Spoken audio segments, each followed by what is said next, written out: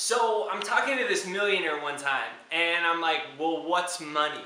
And he says, money is like a Buddhist. This isn't a religious video, but he says, money is like a Buddhist. I'm like, whoa, what are you talking about, dude? He says, money is like a Buddhist, right? Because a Buddhist is like the whole Buddha, Buddhism philosophy is kind of like, you know, you just kind of sit back. There's, there's like, there's like just going with the flow of it, right? Money does not about who you are.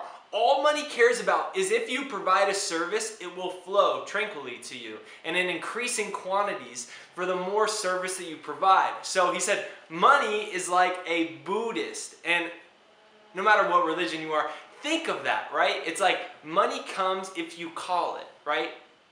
The more that you increase your service, the more it will come. It does not discriminate about where you're from. It does not discriminate against your past. It's like the teachings of Jesus. It's like the teachings of Allah. It accepts everyone no matter where they're from. As long as you provide more service, it will come to you.